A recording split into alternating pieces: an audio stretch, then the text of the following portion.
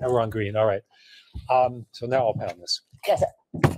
I'll call to order the meeting of the Finance and Auditing Committee of the Board of Directors of the Golden Gate Bridge Highway and Transportation District of 27th April 2023. It is 10:26 a.m. Madam Secretary, would you please call the roll? Thank you. Good morning again, everyone. Director Cochran. Here. Director Judice. Here. Director Grosboll is absent. Director Hernandez stepped out for just a second. Director Rodoni. Present. Vice Chair Pahre is absent. Chair Rabb is absent and President Theriault. Here. There we go. And, oh, Director Hernandez He's back back. So we have a quorum. Very good. And then also in the room, we have a Director Fear and Director Hill So we are not a committee of the whole, but, Correct. Um, and Director Garbarino. So we're not a committee of the whole. But uh, I will, I will happily accept comment uh, and questions from the, um, the non-members of the committee who are present. Um, The um, first item on the agenda uh, is ratification of previous actions by the auditor controller. Uh, It's on pages five to 24 of your packet. And for this, we have uh, Wally Kajapaya uh, from PFM here to present to us. Mr. Kajapaya. And I'm- The name, am I? It's Hydro pie. Kajapaya, Yeah, excuse hydro me. pie. No worry. No one gets it right the first time. Okay, no worries. All right. Good morning, everyone. Um, this is the monthly report um, from PFM for the month of March, um, which starts on page 10 of the packet. So if we look at the yield curve um, for the month of March, I think the theme there that we saw for at least for the almost for the whole first quarter um, of this year is lots of recent volatility on the shorter end of the curve, especially in that two-year yield. Um, we can see that the two-year yield got up to about over five percent, um, and then came moving down um, to about 4.03 by the end of the month. But um, you can see during the month there was a lots of big moves, bigger moves that we typically see in fixed incomes on a day-to-day basis um, in that last half of the quarter. We also look at the yield curve, um, still inverted, uh, but when we look at where its positioning is, you can see that there was a drop in yield um, from the green dotted line at the end of February to where the blue solid line is at the end of March. Um, most of the uh, the big drops that we saw were in the two-year, the three-year, and the five-year yield. The good thing is, as yields have dropped, um, that does bode well for performance moving forward. Um, and we've done a pretty good job of locking in some good yields on the longer end of the curve um, over the last um, couple of months. Page 11, we look at the Fed funds rate. Um, we're right at about 5%. Um, we got a 25 basis point rate hike in the last meeting.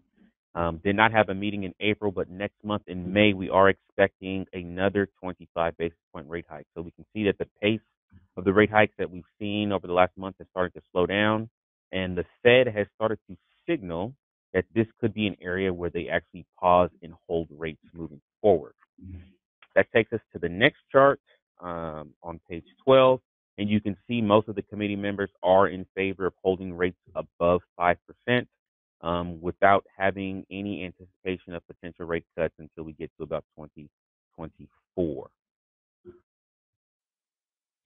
Some of the bigger items are the highlights from the last Fed meeting on March 22nd. Again, inflation remains elevated, um, but it is moving at a pace that is starting that has come off the peak, um, which is one of the reasons why the Fed is looking at potentially holding rates at that 5.25% area. Um, the banking system, even though we saw some collapses of some um, some of the regional banks, um, the Fed says that the banking system does remain resilient, and a lot of the um, things that we did see is not a broader issue, but more so isolated incidents for some bad decisions that were made by those banks. Um, again, they are affirming that they want to get um, their inflation target to about 2% over time, which is one of the reasons why um, it is um, a high probability that we're going to see rates um, hold near that 5% range, possibly until the end of the year. Now, the implied Fed funds future rates um, or what the market is pricing in where rates should be, the market is still pricing in potential rate cuts. So if you look at the lighter orange line and the darker orange line, that's where we looked. We saw the um, the lighter orange line was where the the Fed funds future rates was implying um, of higher interest rates moving forward. But then when we look at where we were at April 3rd, we can see that the Fed funds futures rate starts to imply lower rates with potential rate cuts. So again, there is a disconnect between what the Fed has been signaling and what the market is pricing in. So we'll have to see what happens with that story. Consumer sentiment um, obviously started to take a you know a leg down in March. Um, again, a lot of that having to do what we saw with the banking system, um, and then we can also see that the inflation expectations are starting to come down um, now that we've sort of come off the peaks um, that we saw last year. Moving forward, um, we were able to make some purchases in the portfolios with very, very attractive yields. So again, um, with the highest being at 5.82% and the lowest um, being at uh, 4.56%. There also were some sales this year um, or this month of U.S. Treasury notes and some commercial paper as well. So moving forward, I think you know from a performance standpoint, performance continues to be strong. Again, because rates are not moving as aggressively as we saw this year, and we're getting to a point where we could be at the peak of where interest rates are, um, and we've locked in some attractive yields. Income remains strong in the portfolio, um, and we probably won't see the big gyrations we saw with the unrealized gains and losses moving forward. So um, we'll see what happens with the next Fed meeting next month, and then we will present our findings in the next Uh, are there directors with questions or comments for Mr. Kajabai? Seeing none, Madam Secretary, do we have any public comment? I do not have any speakers in the room. Uh, Justine, do you have any speakers under item number three? We have no speakers for item three. Thank you. Thank you. Then the next thing would be to look for a motion to approve the ratification of previous actions by the auditor controller. There's a motion. Is there a second? And there was a second. Uh, On the motion, Madam Secretary? Thank you. We have a first and second for item number three, starting with Director Cochran, Yes. Director Giudice, Yes. Director Grosboll is absent, Director Hernandez. Aye. Director Rodoni, Yes. Vice Chair Pahre is absent, Chair Rabbitt is absent, and President Theriault. Yes. Thank you. You have five ayes. Thank you. Next item on the agenda is uh, going back to an item that was uh, at Building and Operating. And, and uh, thank you, uh, Chair Garbarino. Um, Budget increase in the fiscal year 22, 23 Bridge Division Capital Budget Project. For pro- budget for project number 1722 Toll Plaza Pavement Overlay. Um, uh, Ms. uh, Bauer Furbush, uh, I think it's your turn to present us.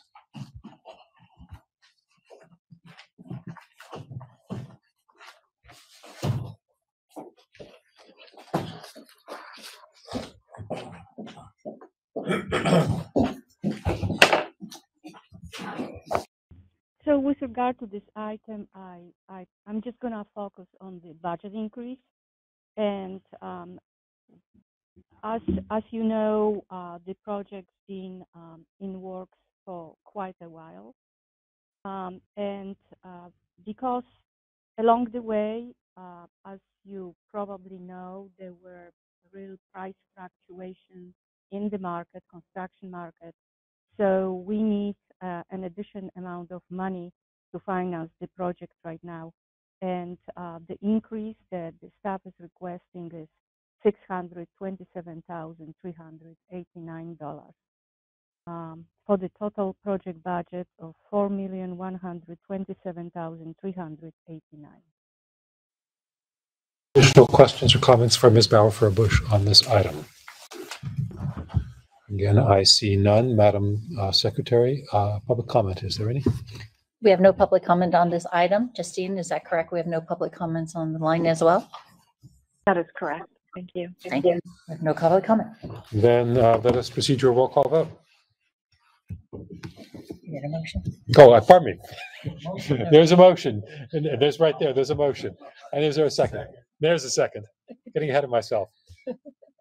Thank you. We have first and second voting on item four A, starting with Director Cochran. Yes. Director Giudice, Yes. Director Grosboll is absent, Director Hernandez. Director Rodoni. Yes. Thank you. Vice Chair Pahre is absent, Chair Rabbitt's absent, and President Theriault. Yes. Thank you. That's five ayes. Thank you. Um, give me one moment here. While my computer behaves as my laptop, my uh, iPad behaves itself. It's not, um, uh, there, there is no, uh, action, um, related to grant programs on the agenda. Uh, so I guess we move along to item six. Is that correct? That's correct. Okay. Uh, So item six is authorize execution of an extension to the commercial paper line of credit agreement with JP Morgan Chase Bank.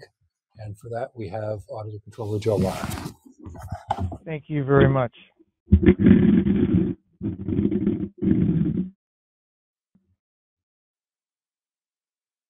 I didn't ruin the, there. Okay, we're here to um, approve the authors, authorization of extension of the uh, line of credit agreement for our commercial paper program. Uh, It helps to have a little bit of history for this program to understand what we're doing here. Uh, In the year 2000, the district put together a uh, short-term debt program called a Commercial Paper Program, and in order to raise $61 million to invest in the first phase of the seismic retrofit project of the Golden Gate Bridge. A, a- worthy cause. And uh, since that time, the district has maintained that uh, commercial paper program uh, in order to, with the idea that when it finished the seismic retrofit of the Golden Gate Bridge, which is has been extended, but when it finished it, it would then pay off this principal. In the meantime, it was just paying off the interest of this commercial paper program. Uh, in order to have a commercial paper program, there is a, a significant amount of legal work that goes behind that. One of them is called the indenture of the program, and it requires the district to have a line of credit to pay its uh, debt holders. That means the people that hold the commercial paper. For some reason, the district couldn't. So the bank would step in and they would pay off the person or the holder of the debt if the district for some reason couldn't do it. So we have uh, renewed this, and the board has renewed this uh, policy uh, a number of times. There is a, on the third page of the report, you can see a, a, a list of all the times it's been renewed. Uh, we are working with uh, JP Morgan, uh, one of the more established banks in uh, the United States and also in this particular business. Uh, each year we have our financial advisor, in this case from Public Financial Management, meet with us and with the banking officials. We negotiate an extension. Uh, this particular extension was uh, negotiated at uh, 43 basis points uh, for the amount of approximately $333,000 a year, or, or for a two-year term, it's going to be 600 uh, $666,000. That is the lowest rate we've had, uh, ties the lowest rate we've had in the last 15 years for this uh, particular instrument. Uh, we would chose a two-year term, and we're recommending a two-year term to the board because this program uh, will be in place until we uh, finalize the, at least until we finalize total, the, the final funding for the last and remaining phase of the uh, program, the retrofit bridge, and that's not expected to be completed for another several years. So we will need this program until then. And if there are any other questions, I'm happy to take them.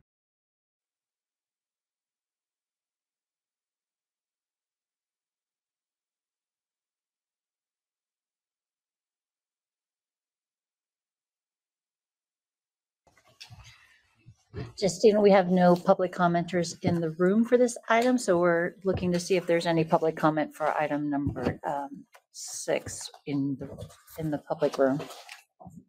There are no public comments for this item. Thank you.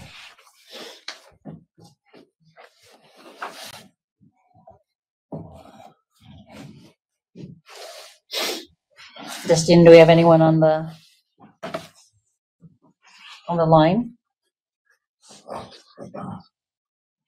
Um, I, yeah, I'll repeat it. There are no public comments for this item. Great, thank you.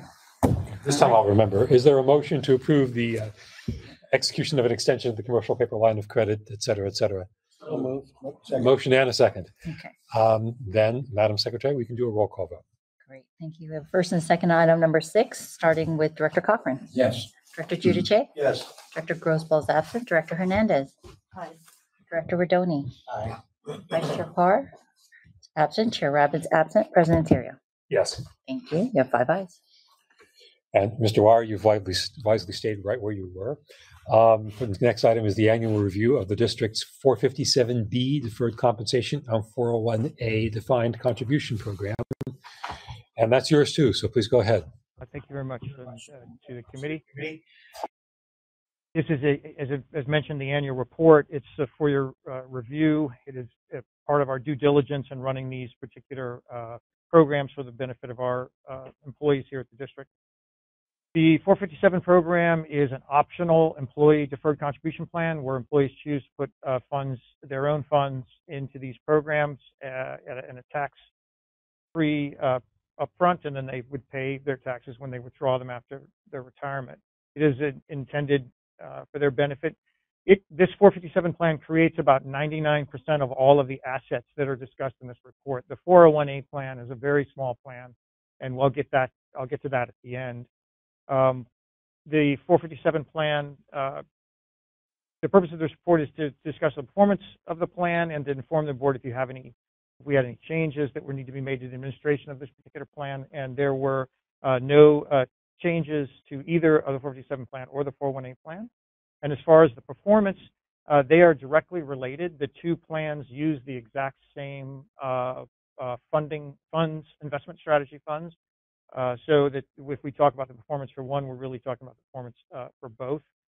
Uh, the district has hired a um, investment advisor and a third-party provider to run these particular programs. Uh, the third party provider is Mission Square. They have been under that name and, and a uh, previous name uh, running these programs uh, for 20 plus years here at the district.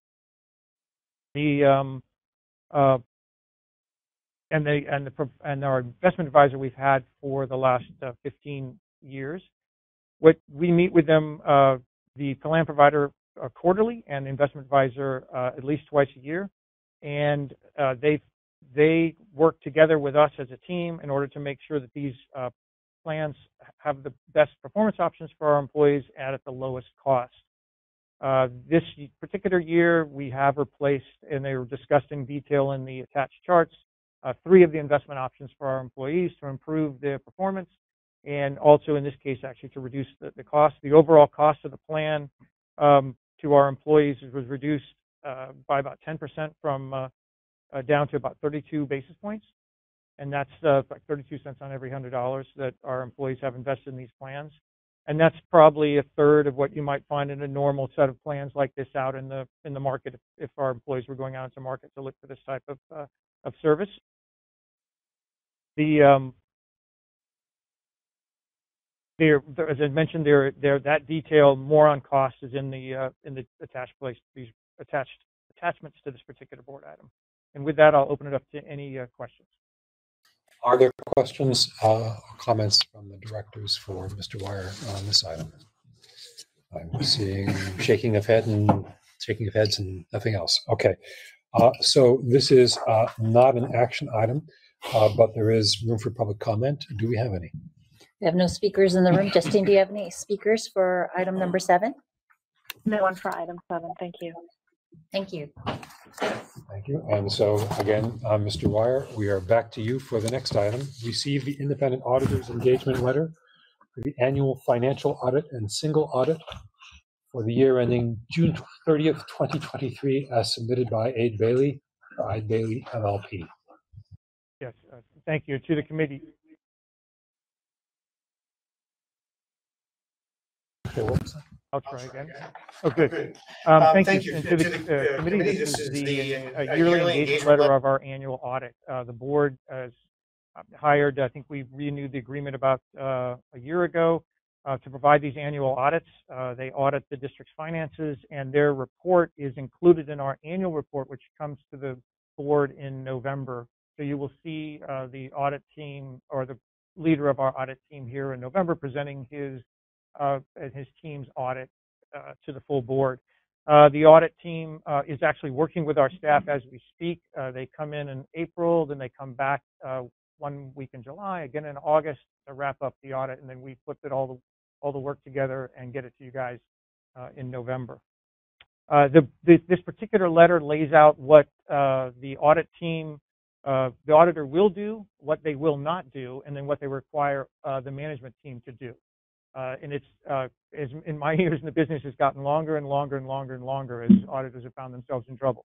Um, so it's quite long now, but that's really all it says, and it's pretty detailed about what it tells us to do. There are not significant uh, changes from the previous year about the requirements for either themselves, what they will, will not do, and what we are supposed to do. And if there are any questions, I'm happy to answer them or get the in here, they can answer them. Are there questions for Mr. Wire on this item? Um, Seeing none, I have one. Um, In, in the last paragraph of the first page, if you can bring that up, the first two sentences simply do not scan. Uh, I don't know what they mean. Uh, Accounting principles generally accepted in the United States of America as promulgated by the Government Accounting Standards Board require that identify the included supplementary information such as management discussion, analysis, and budgetary comparison information be presented to supplement the basic financial statements. Okay, uh, that, that doesn't scan for me. Uh, you know, it goes astray with, uh, at, at identify. Um, the next one is such information, uh, although not a part of the basic financial statements, is required by identify designated accounting standard setters, such as the Governmental Accounting Standards Board, considers it to be an essential part of financial reporting for placing the, base, placing the basic financial statements in appropriate operational, economic, or historical context. Again, it goes astray at identify. Something is missing in there. Uh, and I, I- I'm, I'm sure you, you may know off, you might know off the top of your head what it is. Uh, and if we could have that spelled that to us here, it would be very useful for us. If not, um, we will count on you, I think, to make sure it ends up in there. I I would rather take this back and have them explain it to us. Shall we? Is it, would it be all right then to hold off I- on It this? is perfectly fine to hold off. They- As I said, they, it- this is just part of the, uh, actually, this is part of one of their requirements that we bring this letter to you now. And not at the, at the end, you know, when they're, when they come with the audit, that they want to have it up front. So um, I would be happy to take it back and say, why don't you get this a little more in English so we can discuss what it is. Yeah, some of you did a late night cut and paste job. I think so too. Yes. Um, All right, um, so, um, I, I will actually take public comment, but I, w- I'm, the motion I will look for will not be to approve, and I'll suggest a motion in a moment. So is there a public comment? We have no public comments, and I believe, Justine, do we have any public comments on this item for item number eight? We do not. Justine, if you you. can hear me, I would like to speak. Uh, Director Pahre has a public comment. And I finally got it so I could uh, do it. I, uh, in my history or in my memory, um, it seems that every so often it's prudent to change accounting firms. Um, this particular contract, and I know we're not, you're not going to vote on it today, but this particular one is five years, and I know that Eide Bailly has been with us, I would assume, at least three years. Um, would you comment on that? I'm not pushing to change. I'm just wanting to make sure that we do what's prudent with the accounting firm, and I'll get offline. Thank you. Yes. The. Okay. Okay. Uh, thank you. The, the, the, you are absolutely right. And the board did have a conversation about whether or not to continue with Eide Bailly. And their contract was renewed, um, I think it's last year, if I'm not mistaken. Then the board did discuss that. And, um, both, uh, we had uh, we went we went through the requirements of GASB and what they require is that you can continue with the same firm um, and what the practice the established practice that GASB's put out for this firm to do is they have to switch around the partners.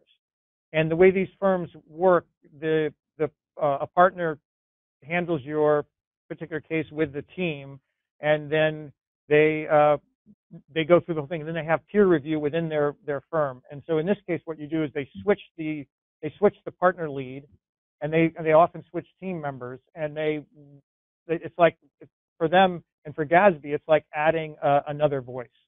So that's what uh, the district uh, decided to do when we uh, um, renewed their particular contract. So we still have several more years on this particular contract this uh, item in front of you today is just the engagement letter for this year's audit and not renewing or not renewing their, uh, not a decision to renew their particular contract at this time.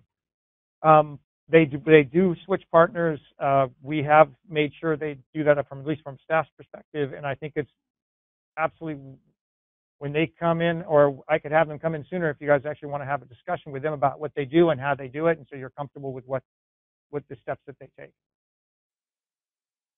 That all we have for public comment. That's it. That's all we have for public comment on this item. Okay, what I would be looking for is a motion to continue consideration of this item to the next meeting of the Finance and Auditing Committee in May. So move. There's a motion Second. and there's a second. Uh, On the motion, uh, Madam Secretary, a roll call vote, please. Thank you. We're going to move to continue item number eight to receive the independent auditor's engagement letter, um, starting with Director Cochran. Yes. Director Giudice. Yes. Director Grosboll is absent. Director Hernandez. Aye. Director Rodoni. Aye. Vice Chair Pahre is absent. Chair Rabbitt's absent. And President Theriault. Yes, Thank you. You have five eyes to continue this item. and, and you're going to hang there for a while, it looks like, Mr. Wire. Look at my little uh, list of things to do here. Um, So the next item is status report on the fiscal year 2022-23 budget on pages 59 to 67 of your packet. Uh, Mr. Wire, yours again. Thank you. Yes, this is the uh, annual report that we've been, I mean, the monthly report we've been giving you since the pandemic started uh, in order to address the fact that our uh, budget that we pass, that we ask you to pass, staff ask you to pass uh, at the beginning of the year has such a large deficit. Um, eh, the, the, this report is uh, very similar to the one you've seen before. It's just been updated for the actual returns uh, from bus and ferry and the bridge as far as traffic and ridership is concerned and the revenues that have come because of that. Um, but the the bottom line is the budget is balanced and it is balanced through the use of federal one-time funding and that's what is shown on the uh, table on the third page of this report. And then the uh, detailed attachments, graphs, and tables show the revenue, amount of revenue that was earned. And if you have any questions on that, I'm happy to answer them. That's for Mr. Wire on this particular item. There are not, this is not an action item, so Mr. Wire, on to the next action item. Hang on a second. the We next do- item. Oh, public comment. We do have public Public comment on comment we this. still have to do, yes. Justine, we don't have anyone in the room, but can you introduce uh, Mr. Pilpel? Certainly, certainly. David, please go ahead. Uh, David Pilpel again. So on this item, I, I feel like I'll just bring out my broken record. My uh, calculated fiscal cliff date is now March 19th, 2024 or later. Um, time is still very much of the essence. I look forward to hearing item 10A, the Strategic Planning Advisory Subcommittee reports item uh, at tomorrow's board meeting. Um, I assume that next year's budget planning is well underway um, with the continued uncertainty, more on that in the future. And I just would uh, note from the recovery rates from the reports, it appears that the uh, bridge uh, traffic and, and tolls uh, recovery is um, kind of at the 80% level, which is uh, good. Um, I mean, it's just good, period. Um, but that the bus and ferry uh, recovery rate is still in the 40% um, range and doesn't seem to be getting that much better. So perhaps in both cases, that's sort of the, the new normal and is very much tied to uh, downtown San Francisco office occupancy, as we well know. So uh, those are my thoughts on the budget status report, and thanks for listening. Thank you, Mr. Pilpel. Sorry for almost skipping past you. Madam Secretary, is there anyone else I almost skipped past? No, we have no other commenters. Then we can move along, uh, Mr. Wire, to the next item. Uh, Monthly review of Golden Gate Bridge traffic tolls and bus and ferry transit patronage fares for nine months ending March 2023. Thank you. If I could have you turn to page, the committee turn to page 71, which is the third uh, uh, page in this uh, uh, item, to the the table that we look at each time. Um, The importance, this is, uh, the- so this is three quarters of the year, three months. We've gone through three months. You can see that the data here for Bridge, Bus, and Ferry, the data on the left is the actual ridership data, on the right is the revenue in those boxes. And I'll just take a look at the bold lines at the bottom of each box uh, really quickly to, because I think it helps uh, a little bit follow up on what the, what the speaker mentioned. Um, so Bridge, Bridge, we are, if on if you look on the left side, that bottom uh, toll, uh, bottom bold line in that box, um, the two numbers to the right uh, that uh, that box are the two percent and zero, and what that means is actual to actual, we're two percent more bridge traffic this year than last year through nine months, and that's that's good. It's gone up a little bit, but that's not rebounding from a pandemic. It's just gone up a little bit, and then from budget, it's it's approximately what we expected it to happen, so it's it's on budget. The revenues, which are in the same line but over in the box to the right, um, the those last two numbers are 11% and 5%. That means the revenues are up a little larger than than what we expect from last year by 11%, and um, a little bit over what we expected in budget. And what we're seeing is um, the um, we're seeing the violation revenue up a little bit because of uh, it was dampened during the uh, pandemic when a number of those uh, violations were uh, slowed down in their processing to give people more time. So they're just coming in later. Um, but that's so that's we expect that to be a, a, a temporary bump up. So, but it, but as as mentioned, it's good news uh, in that sense. Then in the second set of boxes down, bus, uh, the the left box is the ridership again, and it's up about about a third. If you look at that same bold line over last year, so we're a third, and that is very good, and uh, it's about what we budgeted. Our revenues up are slightly um, larger than that. And um, the conventional wisdom there is that we are seeing a return of, of, some of the higher paying ferry customers than we had the previous year. That means a few more commute customers than we used to have. Uh, it's not rebounding greatly, but it's more than what we had a year ago. And so that puts revenue per passenger up a little higher. And then ferry on the bottom, uh, ferry revenues doubled from last year. If you look again that bold line at the very bottom, the number is 98%, 112% that essentially means doubled over what we had uh, last year, which is not a surprise. We've seen significant growth. We've been talking about that, and ferry revenue up is up almost as much, uh, almost doubled what it was the previous year. And that's it, it for this report. Do you want me to move on to the next report, or would you like to take it back? Fine with moving along.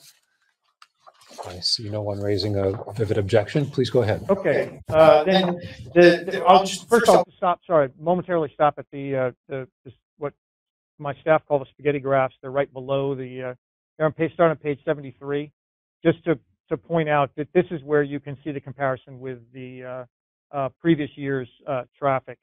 Uh, if you look at the first bridge traffic, you can see that our, our, the, the purple line, which is the, this year is just slightly on the, um, uh, right on top, almost right on top of the gold line from last year. And that's what, what you would expect when, when you've had such a small increase. Uh, bus and ferries, you see their, their graphs farther down, you can see their, their purple line is slightly higher uh, than, than the previous year where you can see the growth. But anyway, turning to the next uh, item, that starts on page 79, and now the, the district's finances. It's a financial review for nine months, so page 79. And there's a table right in the center of the page, and we'll just address that table.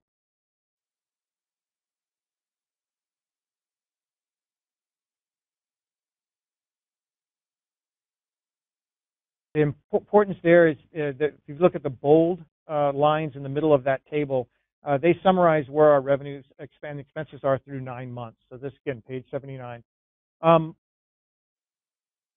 the first bold line is the district operating revenue, and there's you have three uh, numbers to the right. 125 million was what we had last year. We budgeted 138 million, and current revenues are in at 152 million. So significantly greater, about about about 20 27 million. Um, that is uh, extra toll revenue, extra bus and ferry revenue, uh, slightly better uh, grant revenue. That means not not this federal one-time funding grants; they're not included in that number, but the uh, the grant revenue we get from STA, uh, from TDA and STA through our service to the counties of Marin and Sonoma. So that's up uh, by also, and our investment revenue is higher. Um, last year we saw our, re- our, investment revenue reduced because of the uh, inverse relationship between uh, the value of bonds that we hold and the uh, interest rates. When interest rates fell, uh, when interest rates rose, our value of our bonds fell, and we had to recognize that. so that's reversed. So we've seen a, a significant increase in revenue. Uh, the next line down is the expense, and uh, prior year was 154, and we budgeted 190 uh, in order to bounce back with service if we needed to. We've only spent 164, so we spent 10 million more than last year, but significantly less than we budgeted. Um, and then the result, if you compare the 152 in revenues to the 164 in expenses, we're we're uh, just under 12 million, 11.7, 11.8 million dollars uh, in uh, operating deficit. That's a very significant through nine months. Uh, last year, as you can see, it was 29 million. So this year it's 12. Last year it was 29. That's very good.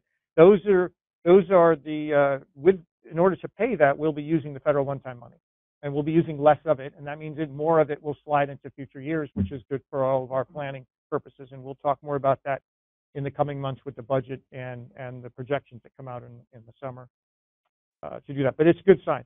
I don't expect it to stay at 12 million. You know, the, the last three months uh, we we tend to do uh, make sure we get all our bills in. The expenses will probably rise a little bit more than that, but it it it it won't be uh, what it was last year. It'll be better than last year, and that's a, a very good sign.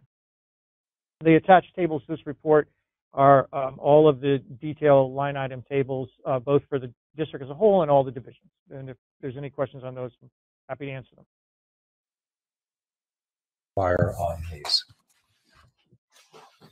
Again, I'm not seeing any. Um, just keep going? Please, uh, item B, I think. Okay. Uh, hey, next, we turn to page 89. And that's the summary of your capital expenditures for the year, through nine months. And just be really short, um, there we're averaging uh, our expenditures through nine months, which is three quarters of the year, is about 80%. So our expenditures are slightly higher than than the year and you might expect at this point, but you know, as I've mentioned each time, capital projects bunch up and they spend when they spend. In this particular case, it was the ferry dredging project that spent out over the summer, and so you know, it's good and we've paid it off, so we're a little bit ahead. Otherwise, things are going well, and the attached reports uh, kind of talk about they show you which division those expenditures have been made in, and if there's any questions, I'm happy to answer them. Otherwise, I will stop there. What's more, are there any questions for Mr. Wire? Again, I see none, Madam Secretary. Um, I think it's the moment to go back and see if we have any public comment on items 10, 11A, and 11B. Hi, Justine, just checking in. Are there any public comments for those items, items 10, 11A, and 11B? We have no public comments for those items. Thank you. Thank you. Thank you. Uh, With that, Mr. Wire, you can go relax in your chair again. Um, we're on to uh, item 12, which is review of the district's fiscal year 22-23 third quarterly report of judgments or settled claims. Mr. Manolius. Thank you, President Theriault. Uh, Your risk manager, Kelly Vitale, is not here this week, so I will do this one. Uh, Before you is a listing of all the settlements in this case, because there's no no judgments in the workers' comp and general liability contexts. Uh, All the workers' comp uh, settlements include resolution of all future claims, as we've been telling you. Uh, so if there are any questions on these, I'm happy to take them. Once again, are there any questions for Mr. Manolius on this set of, uh, of claims? I see none. Um, Madam Secretary, is there public comment on them? We have no public comments in the room. Justine, do you have any public comments on this item? We have no public comments on this item. Thank you. Thank you. Um, this is uh, not an action item, so uh, thank you, Mr. Manolius, and we can proceed along to the next item, which is review of the auditor controller's fiscal year 22-23 third quarterly report, uh, authorized budget uh, adjustments and budget transfers under the general manager's authority. Mr. Wire, your relaxation is over. Thank you. Uh, you have, uh, to the committee, you have properly summarized this report already, so I won't even repeat that. And if, there are any questions on the uh, authorized budget adjustments and and board transfers. There have been a very few, and there are there are very insignificant amount of budget compared to the entire budget of the district. But I'm happy to address them. They are listed in detail in the accompanying pages of the report. The auditor controller on this. I see none. Uh, and I, I'm going to say we can probably move along to the next one without public comment and bunch them up again if we need to. So um, then, Mr. Wire, the review of the audit controller's fiscal year 22-23 third quarterly report on procurement actions under the general manager's authority. Uh, yes, and uh, thank you to the committee. There's, these are the third quarter, and there there is a table that summarizes the years, uh, the first three quarters, also in this report. Um, there are three pages of detail, and they represent those that fall under the uh, general manager's authority. And I'm also happy to answer any questions on those that appear in the tables. I think it's pages, uh, where is it, 10, 109 to 111. If you have any questions on those, I'm happy to answer them. Questions or comments for Mr. Wire? I see none. Um, Madam Secretary, uh, is there public comment on either item, uh, item 13 or item 14? Just checking back with you, just seeing we have no public comment in the room. Do you have any speakers for items uh, 12, 13, or 14? I have no public speakers. Thank you. Got it. these are not action items. Um, we can proceed along uh, to the next item, but uh, that item would uh, um, uh, normally be closed session. However, before we do that, I'd like to take another item out of order with the permission of the body, uh, and that is uh, public comment uh, on items um, not on the agenda. Um, so can we do that now, uh, if everybody's okay, instead of uh, um, after closed session? Give the folks from the public a chance to go home uh, or get off the phone. It looks fine, so let's do that. All right. Justine, do you have any speakers under public comment? We have no one in the room. I have no speakers for public comment. Thank you. Got it. So that takes care of public comment too. Then um, let us uh, move on to uh, closed session. Thanks to everyone for their patience. Uh, We'll place the public on hold for the duration of our closed session item and return after closed session for adjournment. Uh, Attorney Kimon Manolius will take us into closed session. Uh, So Mr. Manolius, it's yours again. Thank you, President. Theriault. At this time, the committee will go into closed session for conference of legal counsel regarding the existing litigation with government code five four nine, five six point nine A, for the matter on the agenda entitled Antoine Chapman versus PGB. Are we ready for closed session? We will be in a second. We'll clear out the room. Okay. Make sure we do that. And then I'm giving a copy to everyone to set this in. Thank you. You have yours?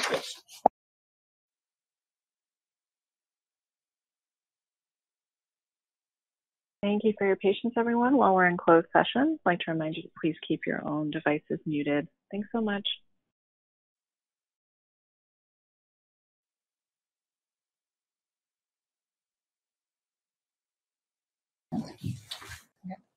All good? Yep, we're good. Mr. Manolius, um, would you like to report on the closed session? Thank you, President Theriault. The committee met in closed session regarding the matter that is on the agenda and um, gave its negotiator appropriate guidance as to how to settle, how to handle the claim. Thank you, Mr. Manolius. Uh, There is nothing else on our agenda uh, except for a motion to adjourn. There is a motion. Is there a second? Second. Uh, I'm going to look around, see if anybody's say shaking their heads against this. No, we are adjourned.